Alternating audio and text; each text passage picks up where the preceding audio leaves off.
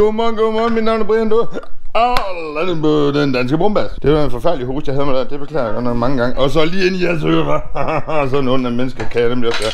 Bare en stor kaste med vand, tænker jeg. Åh, oh, Kirsten, nu skal vi lige have noget vand. Gissebæv for lidt noget vand. Hun ligger lidt af fædre, den der lidt den bo. Man behøver åbenbart ikke være YouTuber for at blive forsinket. Man behøver bare have et barn. Ha' en lille datterbarn. Så er den lige så dårlig. Jeg har godt nok øh, børste den ind i opvasken, Kirsten, så du får sikkert rengjort den. Det kan jeg. Men du kan bare lade være med at smide sig så meget øh, Soleima. Nej, hvad det hedder? Det er savl på engelsk. Det er ikke Soleima. Sol, Soleima, tror jeg. Jeg tror, det gør. Det kan godt være, at jeg tager fejl. Jeg har et barn, der mangler børste tænder. Oh my fuck. Jeg er ligeglad for, jeg går ind i skole. Det var mit barn er selv støvsuget, så det må bare gerne grise uh, gulv til. Som en grisbas. Jeg har støvsuget mere, far, fordi det ligesom har ødelagt mit fucking gulv, ikke også? Ja, det kan vi lagt gulv. Gulv er der stadigvæk helt. Der er der øh, brejer der, brejer der. Det er så fint. Mit barn snakker underlig snak, fordi det er en ostebøvs. Men jeg har selv været med til at lave den ostebøvs. Hvilket er lidt underligt, fordi jeg har ikke noget ost i mig. Ah, nakkeost! Uh, ej. Øh. Det skulle da have noget at sige, Brian. Der må, jeg, der må jeg godt nok, øh, der må jeg godt nok slutte mig til at så sige, I har ret. Og øh, for I får ret, så får jeg fred eller sådan. Jeg har faktisk mit, mit kort om bag mit cover. Oh my god. Oh my god. Mit barn har sit øh, mærke om cover. Jeg forstod ikke, hvad den sagde. Men det er jo sådan en eller anden den stil. Mærke, mærke, kommer. Kommer, kommer. Kommer eller cover? Jeg ved det ikke. Hvor skal du hen? Er du fuldstændig sindssyg? Jeg har tøj på. Jeg går ikke i seng sådan her, vel? Det har jeg aldrig gjort. Skal du ikke have knoglen med, Kirsten? Skal du ikke have biffuglen med? Åh, oh, buff. Det er så forfølgende bøl møllig buff. Dygtig kissebæ. Og det sagt var til hende. dygtig kissebæ. Nej. Det er fordi, hun er også et vanedyr, ikke også? Hun ved, når vi gør sådan og sådan og sådan, så ved hun, at så skal hun gøre sådan og sådan og sådan. sådan, og sådan. Helt uden at sige noget til hende. Og jeg vil selv en shibab, eller en shivama, eller en shivama bab. Ej, nu har jeg glemt min mad. Åh, oh. Ja, men du er ikke særlig god til at huske. Du er ikke særlig god til at huske. Der hvor jeg kommer fra, det husker vi rigtig godt. Det kommer så åbenbart ikke i Aalborg. Det er løgn, men jeg husker heller ikke særlig godt. Ej, hej. Nu tror jeg, jeg har alt med. Det var godt, fordi vi kører nu. Klokken er 6, og vi er, vi er i gang. Så er det u. Så er det u. Peter Saut. Den var. Hej Kirsten. Ha' en god dag, Kirsten Ben. Se, sender Kirsten Ben. Jeg siger dig, hun er mærkelig. Businessbil. Businessbil. Husk at slå. Husk at lade være med at tænde. Nå, du er lille barn. Fuld af ballade, fuld af ballade, altid ballade. Kun ballade med den barn her. Lad at få det barn. Det kan ikke betales. Hold dig væk. Også selvom de siger, Åh, det er bare så hyggeligt, det er bare så rart, det er bare så hyggeligt, det er bare så rart. Og selvom de siger det, lad være. Som man siger på dansk, hold dillerbobben i bukserne, nå. Så kommer du ikke til skade. Ah, Det vil blive sjovt, de sagde. Det vil være hyggeligt, de sagde. Og så har man op med det der. Det var sikkert meget hyggeligt, den stund, man havde på de der få sekunder, det tog. Så var det også det.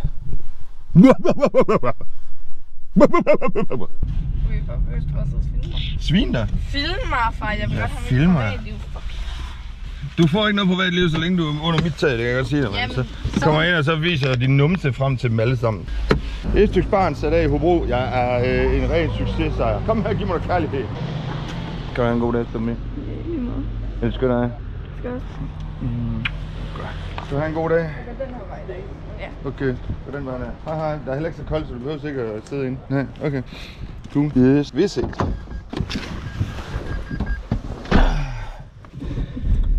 Han er ikke helt rigtig lågt, ham der. Bussen kørte hernede for enden for at holde hernede.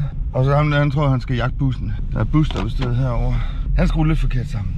Og så går han bare og bander og svogler eller sådan et eller andet, eller snakker meget højlydt. Og han så snakker i telefon, det kunne jeg ikke, det kunne jeg ikke helt rigtig, rigtig komme frem til. Men nu tager han turen, så er han væk derfra, så det er fint. Så har vi Peter! Yeah, det er Peter!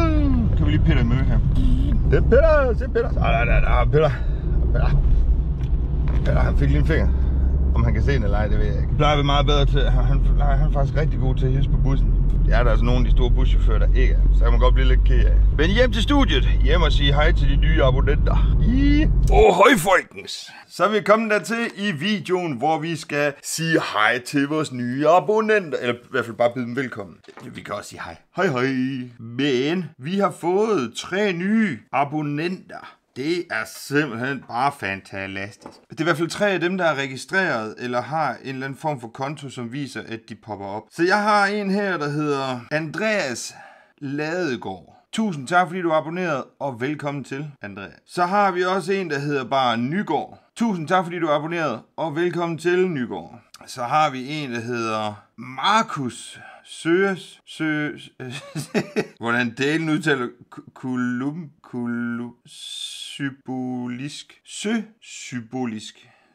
Sybo- C-Y-B-U-L-I-S-K, symbolisk. Han hedder Markus i hvert fald, og, og tusind tak, fordi du har abonneret, Markus, og jeg kan se, at du kan lide vild med tog, og velkommen til. Jeg prøver lige igen. S-Ø-E-S. Søges. Søges symbolisk. Sym- symbolisk. Symbolisk. Søge symbolisk. Der er en bindestreg mellem de to her. Men uanset hvad, tusind tak, fordi I tre har abonneret, og til alle de andre, der har abonneret, som ikke popper op på mine ting her. Velkommen til, og tak fordi I har abonneret, og I er simpelthen bare så dejlige. Jeg fatter ikke, at jeg er ved at runde 500. Det, der, det, der, det, nej. Det er stor fed nej, jeg fatter det ikke. For mig er vi tæt på, og for mig er vi stadigvæk langt fra. Altså, jeg stod stille på 300, og var det, tror nok, det var 45 i et godt stykke tid. Og samtidig så svingte den lidt ned til 43, op til 47, ned til 43, op til 47, og sådan har han fløjet lidt frem og tilbage. Og nu skal jeg da ellers lige love for, at der er sket noget. Så tusind tak til jer alle sammen, alle de nye, alle de gamle, alle jer, der er så søde og giver mig seertid for eksempel. Jeg vidste ikke, at nogle af mine videoer vil nå så langt. For mig, igen, for mig er det langt, når man tænker på, hvor få abonnenter jeg har, og hvor mange visninger mine videoer, nogle af mine videoer får. Nu sagde jeg ikke alle mine videoer, men nogle af mine videoer har fået, og virkelig skudt afsted som bare pokker. Jeg, nu skal jeg lige se, om jeg kunne finde et eller andet her, for ligesom at give jer en idé om, hvad der er, snakket. Ind på min... Hvordan har jeg plejer at gøre det? Er den her? Så kan man se her for eksempel. 73 visninger. 168 visninger. 55 visninger. 121 visninger, 118 visninger, 169 visninger, 130 visninger, 46 visninger, 104 visninger, 83 visninger, 4, 114 visninger. Den her, den er helt åndssvag. 1207 visninger. Jeg fatter ikke lige, hvad der skete med den. Men det var den, hvor, hvor øh, beep, jeg røg i kontrol hos NT. Den er stukket helt åndssvagt af. Så er der 222, hvilket er et totalt fedt tal. 101, 102, 181, 217, 377, 700, damn, 700, nå, 743 visninger. Jeg har ikke 743 abonnenter, men det er altså flot visningsantal. Jeg, jeg er helt, jeg er helt rundt på gulvet. 103 visninger, 134 visninger, 81 visninger, 80 visninger og 26 visninger. Jeg siger tusind mange tak alle sammen. Det er, jeg er meget, meget rørt. Og det her, det er kun udelukkende kig på den del af mit vlogging. Der er, der er ikke ret mange af dem, der ligger under 100 faktisk. Så det, det tusind tak skal I have. Jeg, jeg er så imponeret over jeres modtagelse af det her. Jeg troede Kirsten, hun lavede blad, så jeg skulle lige til. Super. Det var, det var simpelthen det. Velkommen til de nye abonnenter, og velkommen til dem, der ikke popper op her ved navn eller lignende. Men stadigvæk tak, fordi I abonnerer. Og så tilbage til bussen. Eller ud i bussen. Ja, nu må vist være ud i bussen, fordi vi er ikke været i bussen nu. Vi er været i en rød bus. Jeg kalder min bil for bus, fordi op på arbejdspladsen, af en eller anden sjov årsag, så kalder de busser for biler. Hvilket ikke giver mening for mig, fordi du skal have et bus kørekort for at kan køre dem. Det er ikke nok med et bilkørekort. Så ren progression, så er jeg begyndt at kalde min egen privatbil automobussen eller bussen. Det kan selvfølgelig godt virke, det, være, det virker lidt forvirrende for nogle af jer, men det er bare progression for dem der. Så ud i, eller tilbage i bussen. Ud i bussen, ikke tilbage i bussen. Vi tager ud i den hvide bus. Vi tager ud i sprinteren. Vi tager ud i Mercedes. Vi kører børn. Vi gør det der, vi kan lide. Tak fordi I kiggede ind. Eller tak fordi I kom med den. Vi er. Vi er. Weitergehen bitten Jensen Knudsen. Afsted med jer. Kirsten, jeg har ikke sagt noget, jeg har ikke gjort noget. Slap dog af, lille buff. Og lidt buff.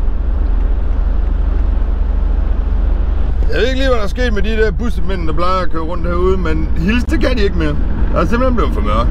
Til de kan se noget som helst frem for sig. Det må være derfor. Jeg ved det ikke. Jeg er på vej over efter skolebørn, og så er dagen startet.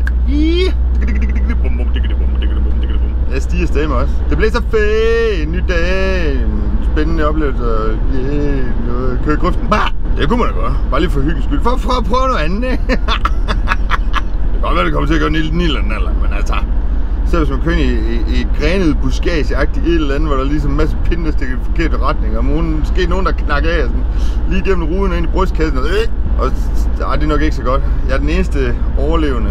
Nej, det hedder det jo ikke. Det er ikke den eneste overlevende, for der er som regel kun to forældre til tango, ikke? men, men Ja, jeg er den sidste overlevende til min datter. Og derefter så er det bedste forældre. Nej, der er søsteren. Og så er der bedsteforældre. Ja, det er ikke så, det er ikke så fedt. Nej. Så skolebåndene af, hvilket er en god ting. Så de ligesom kommet rigtig sted hen. Men imens jeg kørte skolebørn, så fik jeg en opkald af bossen.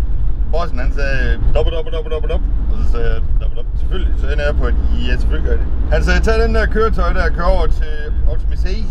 Og så hent den, vi har til at stå op i Mercedes. Og så kører du over på værkstedet, og så bytter du igen. Så jeg skal lige bytte en masse gange nu.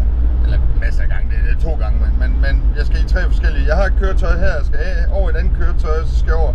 Forhåbentlig er det mit eget, de snakker om, jeg skal have over på, over på virksomheden. Og det her, det skal jeg gerne nå i, ja, mellem den her tur og så den næste tur. Så jeg når så ikke at tanke. Den her, den er på fire streger. Og det har jeg altså regnet med at skulle i dag. Men det når jeg så ikke, desværre. Og det er lidt øv. Ja, det ved jeg ikke. Jeg har, jeg har det dårligt med, at der ikke er brændstof på et køretøj, jeg har kørt rundt i. Så derfor så synes jeg ikke, at det er okay at efterlade sådan noget. Og så regel så siger de, at man må heller ikke parkere en bus med under en halv tank, tror jeg. Eller en kvart tank, det ved jeg ikke. Den her, den er ikke kvart endnu, men, men jeg synes bare ikke, det er fedt at aflevere sådan noget. Så derfor så synes jeg, at jeg har det personligt dårligt med sådan noget. Og altså, så ved jeg ikke, hvor meget brændstof der er på den, der er oppe op på, på Mercedes. Det ved jeg heller ikke. Jeg ved heller ikke, hvor meget brændstof der er på mit eget køretøj, hvis det er det, jeg skal over have fat i. Yeah. Omkring Havslev, der ligger bag et køretøj, det køretøj, det er så ikke mit eget. Hvilket nok er mærkeligt. Eller det har ikke noget med sagen at gøre. Det er en af vores. Så han ringer op. Først så ringer bossen til det og fortæller mig, at jeg skal gøre sådan og sådan og sådan. Så det næste, der sker, det er, at Yberfyrsten ringer til mig, fordi jeg kører uden. Jeg tænker, jeg vil ikke blinde, fordi der er noget galt med det lygtehus her på den her køretøj her. Men den, den i hvert fald er ikke, som den skal være.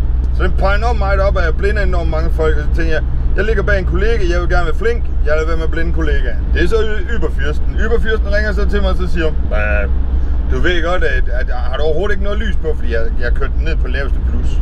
Det er det der små 2-10 pærer, vi har til at sidde ude i siderne. Den, den, den, øh, den havde jeg så kørt ned på, så der er nærmest ikke noget lys. Jeg kan nærmest ikke, næsten ikke få øje på. Jeg siger, jo, jo, jo. Hvad, har, du, har du sprunget alle dine pærer, eller hvad sker der for dig? Han til mig. Så siger jeg, nej, det, nej, nej, det har jeg sådan set ikke. Men jeg har bare ikke noget lys på, fordi jeg ønsker ikke at blinde dig. Jeg siger, hvad mener du med det? Du ved godt, du har et HP deroppe, du kan bare skifte den ned i den anden. Øh, den for lang lys, den kan du bare tage ned i... Øh, jamen det er lidt lige meget. Uanset hvad jeg gør, så kører jeg og blænder folk, og det synes jeg ikke er særlig fedt. Lygtehuset er gået i stykker. Ja, jamen du kan bare tage den øverste pære. Jamen, jamen det, det forstår jeg godt. Det, det forstår jeg godt. Går et eller andet sted. Bare vi begge to har et budskab, vi gerne vil igennem med, og så hørte man ikke rigtig, hvad den anden sagde. Fordi vi gentog os selv et par gange. Han siger øve fyrsten. Nå, okay. Jamen, jeg ved ikke lige, hvad der sker med den her, men, men lygtehuset ser ikke, som det skal, og derfor så blinder det alle folk. Uanset hvad, uanset hvad søren jeg kører med, er lys og pære i det hus der, så peger det bare lige op i masken på dem. Det er ikke særlig fedt. Derfor er jeg blandet ned. Jeg ligger bag dig, jeg tænker, jeg vil være sød ved dig. Men du kan da godt lige få noget lys. Nej, nej, nej, nej, nej. Så. det har jeg ikke lyst til. Underligt nok. Jeg er på vej mod Mercedes, og håber, jeg kan nå det. For jeg har øh, 9.25 har jeg opsamling over, over ved en skoledreng. Ham der, der som regel ikke kan komme op om tirsdag, ham har fedt. Så det glæder vi os til. Om han så kan komme op i dag, eller om det bare er det samme som altid. Så er der bollemest. Ja, noget bollemest. Jeg har været over på BC's og bytte, og bytte busserne rundt. Så nu er jeg i gang med at køre den her tilbage til Ravnkilde, eller vores værksted. Tilbage til værkstedet. Og så har jeg en pose fuld af mine ting derovre. Yes, jeg, jeg, øh... Altså, man kan lige så godt installere sig ordentligt, når man ikke ved, hvor længe man skal være der, tænker jeg. Men nu, er det, nu har det vist kun været hvad? Hvis det er min egen bus, jeg op og skal op og have nu, så har det jo kun været hvad? Så har det været torsdag eller sådan et eller andet. Torsdag morgen, torsdag formiddag. Nej, fordi det var... Jo, har det ikke været det? Jo, det tror jeg. Tror, det hedder det eller andet stil. Jeg kan ikke huske, om det var fredag eller pensionister eller hvad det hele var. Hold da op. Ja, der, der har jeg godt nok også været ligeglad, hvis jeg var lastbilchauffør. Der var en BMW, der mente, der kan jeg godt lige ved. Og så accelererede den en gang. Sådan klap at. Altså, når du vælger at køre ud foran andre folk, så accelererer, så du kan se, så de kan se, at du er på vej væk. Jeg, Ravnkilde, vil ses, byt, skift, er gjort. Skal op og skift igen. Jeg synes, det var nok, den anden den havde en, en meget mere lækker murtje, murtje, murtje bølle. Kan jeg bare lige se, at den anden er gået 290.000, mens den anden den er gået øh, 365.000, tror jeg det var. Min den er gået 324, tror jeg nok der. Men det er utroligt så stor forskel, der er på et køretøj, på køretøjer. Og, og, og, og, og. Også alt efter, hvem der kører dem, og hvordan motoren bliver kørt og sådan noget. Det, det, er, faktisk, det er faktisk lidt, øh, lidt crazy. Crazy, crazy, crazy, crazy. Vi bliver kastet lidt fra bus til bus lige i øjeblikket. Ikke lige min øh, stærke side, det er det bare, ikke? Men jeg glemte lige min førerkort herovre i den anden bus, så det skal jeg lige over fat i. Det er en af de ting, jeg ikke er vant til at pille ud af mit køretøj. Det er mit førerkort. Jeg lader det bare sidde i, og så er der ikke mere. Så gør vi det. Jeg skal lige have det med. Ellers kan jeg ikke komme så langt. Jeg har 25 minutter til, at jeg skal være derovre. Med ham drengen der. Så må vi se, om han skal med i dag. Det er TV. Jeg hopper lige over en anden køretøj, og så ruller vi det ud af, så ses vi senere. Vi kørte i 18'eren, kørte den op til Mercedes, skiftede til nummer 5, og nu kører vi i nummer 17. Og normalt så kører jeg i nummer 15, vogn, vogn 15. Men vogn 15, øh, øh, den vil ligge ud af værkstedet. Den går lige derinde. Så den hvis vi har at bosætte sig derinde, så vidt jeg kan forstå på det. Tja, sådan kan det gå, når man ikke kan passe på. Og drengen, som jeg skal overhente nu her, eller skulle overhente nu her, han har meldt park, eller han har meldt af, afbud. Så jeg kører hjem og hilser på Kirsten og ser, hvor en hoved håret. Jo. Og så er der nok lige lidt redigering og lidt fod og lidt ditten og lidt datten. Og... Men det var faktisk nogle rigtig gode frikadeller, vi fik i går. Er du sindssygt, jeg blev mæt, mand. Jeg skulle aldrig have taget tre frikadeller, jeg skulle have taget to frikadeller. Men man er bare grådig, når man står der og tænker, mmm, det er kø. Selvfølgelig. Og så er jeg bare løs. Og så får man bare ondt i mausi. Fordi jeg sagde som sagt, det der havregryn der, det gør bare lige, det lander som sådan en betonklods i maven. Boom, siger jeg så bare. Der, der, så er du med. Der, der, der, der, selv. Så jeg tager hjem, får noget at spise og alt det der, og så får jeg redigeret lidt, og så ses vi senere ude på landevejen. Ja, tænker jeg i hvert fald. Men mindre jeg har et eller andet fantastisk vildt at fortælle jer derhjemme. Man, kan aldrig, man skal aldrig sige aldrig med mig, fordi lige pludselig, anekdote, så sker der et eller andet, så, så snakker vi, så fortæller vi, så sker der noget. Yes, gør. Jeg er den der kan smutsen smuts. Sådan, jeg er på vejen igen, og jeg er simpelthen på vej over for at hente mine skolebørn her klokken 12. Og det var klokken 12, mine 12 skolebørn. Nej, der er ikke 12 skolebørn, der er faktisk kun 3 i dag. I dag er der kun tre. Så yep, dem er jeg vej over for at hente, og så når jeg har hentet dem, så, så, så, så, så skal jeg måske hjem til Kirsten igen. Så jeg skal lige redigere med. Og så hvis jeg er heldig, så har jeg faktisk ikke noget mellem det her og så klokken 14. Og nogle gange så får jeg nogle ture, og nogle gange så får jeg ingen ture. Så det er lidt som en blæser. Ja, så jeg er på vej til dig julebande. Det er bare så hyggeligt med en forstand, hvis man kan bruge den. Hvis man ikke kan bruge den, så er vi have den. Hvis jeg spiller god forstand. spiller. Ligesom det og du er så grim, det spilder god luft, det der. Nej, det er ikke sådan, det var. Spilder god, jo.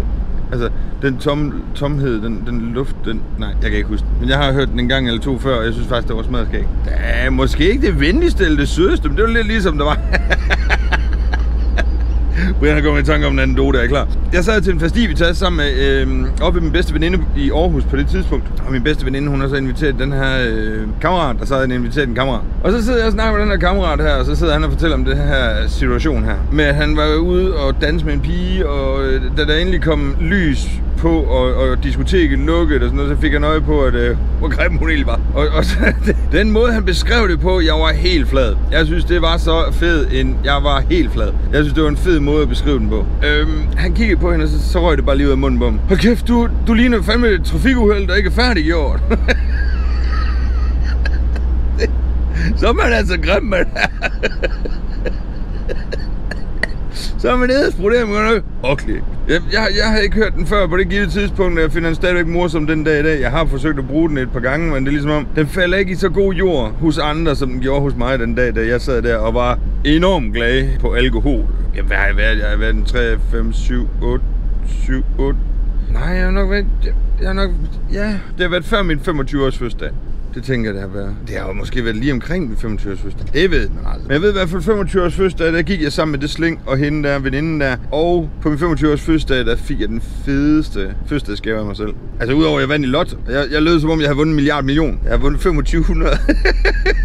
Men jeg følte mig som en lotto-millionær. Det kan jeg godt sige. Åh, det var bare fedt. Og så, øh, det var ovenikøbet på min fødselsdag, jeg indløste den. Og samme dag, der skulle mig og min navnebror og Jesper og Bitte Leif, Sande. Jamen, vi var, vi var sådan et, et fast sling, der bare hang ud hver weekend og bare drak som et hul i jorden. Det var fede tiger. Jeg synes, det var fedt. Og jeg husker tit tilbage, jeg har billeder og videoer derfra og sådan noget der. Det er meget skægt det hele. Det, jeg vi frem til her, det var, at jeg gav mig selv den første skave at tage til ABC-koncert, som sluttede af med Scooter. Altså, Scooter, den lille tysker der, han kan IS brodere om at lave musik. Det kan han altså. Slutbrud, det skal ikke diskuteres. Så er jeg på vejen igen, og jeg fik det, som jeg gerne vil have det. Efter mine 12 børn, der kom der ingenting, så jeg kunne køre direkte hjem, klap Kirsten på hovedet, redigere. Og så er det skolebørnene bagefter, højst sandsynligt, for jeg tænker, æ, lige der kommer noget. Plejer det ikke om tirsdagen, det er om torsdagen, det er efterhånden registreret. Fordi sidste uge, der snakkede vi om, at jeg skulle huske dankortet efter den her 14-tur, hvor hun så var syg. Og det var torsdag. Så det vil sige, at torsdag er højst sandsynligt for at det er der, jeg skal have den bitte tur imellem. Nå, jeg fik lige øje på en, en klump is, der lå et sted, og det lignede faktisk tis eller måske noget olie. Og det var så bare sådan en klump is, der måske ligger i en skovl, hvor jeg så sad jeg og tænkte, kan det være rust? Det kunne godt være rust. Rust kunne også godt give den farve der måske. En sådan en gullig farve eller sådan noget.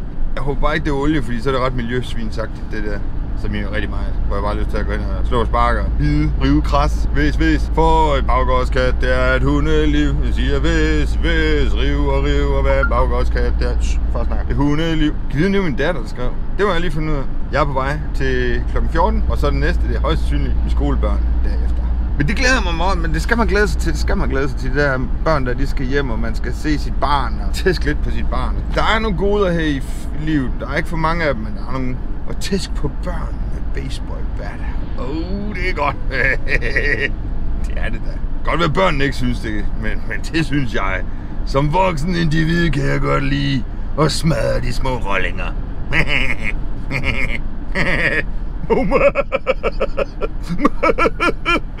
ah, lidt sjovt er det. Sådan der, jeg kom hjem, og Kirsten er den eneste, der er hjemme lige nu, udover mig. Godt kissepige. Ja, der er det, der laver kissepige ting. Så var det lige, at min datter, hun sendte mig en brev, du. Hun sendte mig en skrivelse. Hun sendte mig en besked.